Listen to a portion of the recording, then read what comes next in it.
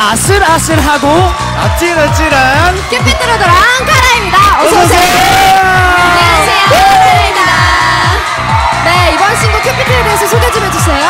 네, 이번 신곡 큐큐피트는요, 상대방을 당당하게 저격해서 사로잡는 그런 노래입니다. 많이 사랑해주세요. 네 화살장전 춤 아찔아찔 춤 등 네, 포인트 안무가 벌써부터 화제가 되고 있습니다 이 자리에서 조금만 부탁드릴게요 네, 큐피트 안무 조금 보여드릴게요. 네. 아슬아슬해. 네 제가 집에서 룸메이트에서 항상 봤는데 여기 네네. 무대에서 만나니까 진짜 예뻐 솔직히 감사합니다. 다른, 다른 분들은요? 다른 분들 예쁩니다 예쁩니다 네 네. 물오른 미모의 카라 컴백 무대는 잠시 후에 만나보시고요 네 방탄소년단의 무대 먼저 만나볼까요? music start